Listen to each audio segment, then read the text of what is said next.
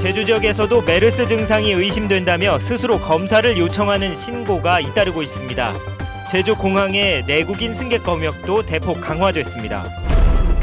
메르스 불안감이 확산되면서 학교에도 비상이 걸렸습니다. 단체 활동을 자제하라는 지침은 내려졌지만 명확한 기준이 없어서 혼선을 빚고 있습니다. 중국 자본의 제주 잠식이 심각한 것으로 나타났습니다. 토지와 건물은 물론 음식점과 여행사도 빠르게 사들이고 있습니다. 수억 원대의 고객 돈을 횡령한 수협과 신협 직원이 경찰에 붙잡혔습니다. 제2금융권의 관리 감독이 부실한 것으로 드러났습니다.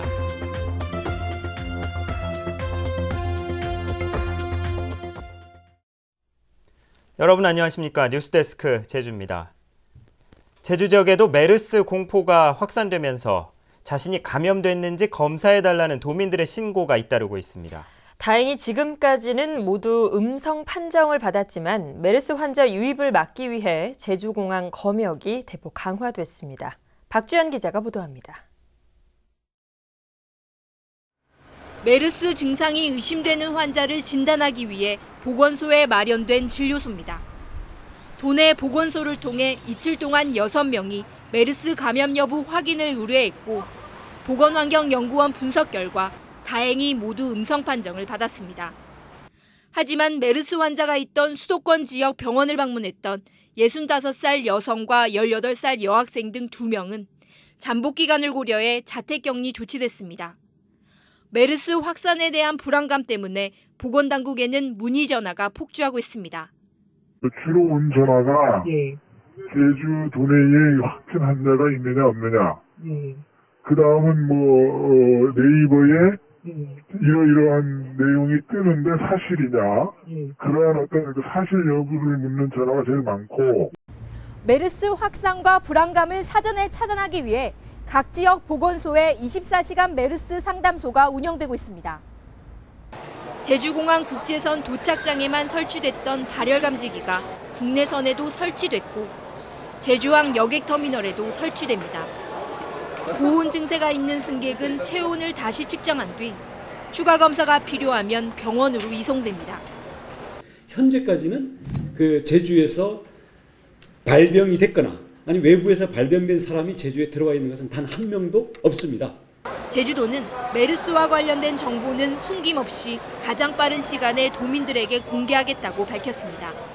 MBC 뉴스 박주연입니다. 메르스 불안감이 확산되면서 일선 학교에도 비상이 걸렸습니다. 교육당국이 단체 활동을 자제하라는 지침을 내렸지만 명확한 기준이 없어서 혼선을 빚고 있습니다. 현재훈 기자가 보도합니다. 메르스 불안감이 확산되면서 초등학교 두 곳과 고등학교 네 곳이 이번 달에 수도권으로 가려던 수학 여행을 무기한 연기했습니다. 중국과 일본 등 해외 수학 여행을 계획했던 두 군데 초등학교도 일정을 연기했습니다. 제주도 교육청은 현재 주의 단계인 만큼 일선 학교에서 수학 여행과 체험 학습, 수련 활동 등 단체 활동을 자제해 줄 것을 당부했습니다. 가급적 단체 활동들에 대해서는 자제하고 그러나 학사 일정상 또는 여러 가지 학생의 안전에 이상이 없다고 하면은 가급적 어 뭐 그건 교장이 판단해서 실시하는 것으로 저희들 하고 있음을 말씀드립니다. 하지만 일선 학교에선 단체 활동 자제라는 지침이 애매모호하고 강제성이 없는 만큼 자체 기준 마련에 고심하고 있습니다. 아, 그런 부분을 교육청에서 딱 해주면, 예. 일선 학교에서는 하기가 쉴것 같은데요. 교육청에서 딱 지침을 내려주시면, 이런 경우. 한편 서울 지역 병원을 다녀온 여고생이 메르스 의심 증상을 호소해 병원을 찾았지만 해당 학교와 병원 측은 교육청에 이 같은 내용을 통보하지 않아 유관 기관 협조 체계의 허점을 드러냈습니다. MBC 뉴스 현재훈입니다. 메르스 확산 우려에 따라 제주에서 개최될 예정이던 행사들이 잇따라 취소되거나 연기됐습니다. 내일 제주시 한라체육관에서 열릴 예정이던 범도민 안전체험 한마당과 오는 7일 서귀포시 강창학 경기장에서 예정됐던 제주 하늘사랑 축제가 무기한 연기됐습니다. 또 현대기아차의 사원 수련회와 우주소년단 제주본부의 초등학교 캠프, 지역과 단체별 체육대회들도 잇따라 연기됐습니다. 원희룡 제주도지사가 제주시 탑동 앞바다에 추진하는 제주 신항 개발 계획을 이달 만에 해양수산부에 제출하겠다고 밝혔습니다. 원희룡 지사는 오늘 기자 간담회를 갖고 신항 개발에 이해관계가 있는 어선주, 해녀 등과 긴밀하게 협의하고 있다며 공론화 과정을 거쳐 의견을 수렴하겠다고 말했습니다. 원 지사는 환경 파괴 우려에 대해서도 분명한 비판의 논점과 나름대로 대안을 제시하는 단체와는 언제든지 만나겠다고 밝혔습니다. 중국 자본이 토지뿐만 아니라 건축물까지 빠르게 사들이고 있는 것으로 나타났습니다. 하지만 대리인을 통한 거래 등은 집계조차 되지 않아 실제 얼마를 사들이는지는 알 길이 없습니다. 김찬년 기자입니다. 제주 시내 골목길의 작은 식당. 지난 1월 중국인이 사들여 해장국을 팔고 있습니다. 인근 호텔에 묵는 중국인 관광객을 상대로 영업하려고 사들인 겁니다. 저희 가게 전에 시작하기 전에는 치킨이 있었고요. 네, 이때 사장님이 해장국집 하고 도심지 한복판의 호텔도 지난해 중국인에게 넘어갔습니다. 이곳 역시 중국인들이 주로 묵는 곳입니다. 식당과 호텔뿐만 아니라 이런 상가 시설을 비롯해 건축물과 토지들을 외국 자본이 빠르게 사들이고 있습니다. 중국인이 소유한 관광호텔은 4년 만에 13배가 늘어 전체 관광호텔의 5%를 차지합니다. 여행사는 세계에서 23개로 불었고 세 곳뿐이던 음식점은 10배나 증가했습니다. 중국인 소유 건축물은 5년 만에 무려 1,500여 곳으로 급증했습니다. 중국인이 소유한 토지는 마라도 면적의 27배인 8.2제곱킬로미터까지 늘었고 부동산 투자 이민의 99%가 중국인입니다. 지금 나온 게 특별히 놀랍지도 않은데요. 문제는 어, 이것은 겉으로 드러난 것이고 그러지 않은 부분들도 분명히 있다고 도민들께서 생각하시고 근데 이제 민간에서는 이제 그런 것들을 사실로 확인할 수 없기 때문에 제주도는 외국 자본에 대한 정보를 분기마다 공표하겠다고 밝혔지만 대리인 등을 통한 매입은 통계로 잡히지도 않아 반쪽짜리 정보라는 지적도 나오고 있습니다. MBC 뉴스 김찬년입니다.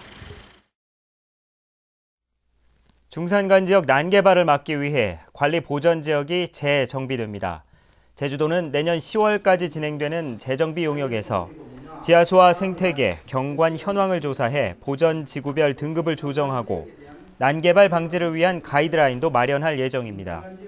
관리 보전 지역은 국토계획법에 지정된 도시 지역과 한라산 국립공원을 제외한 1,200여 제곱킬로미터로 제주도 전체 면적의 68%에 이릅니다. 지난 3월 수협 직원이 수천만 원을 유용했다는 MBC 보도에 따라 경찰이 수사에 착수했는데 무려 5억 원을 횡령한 것으로 밝혀졌습니다.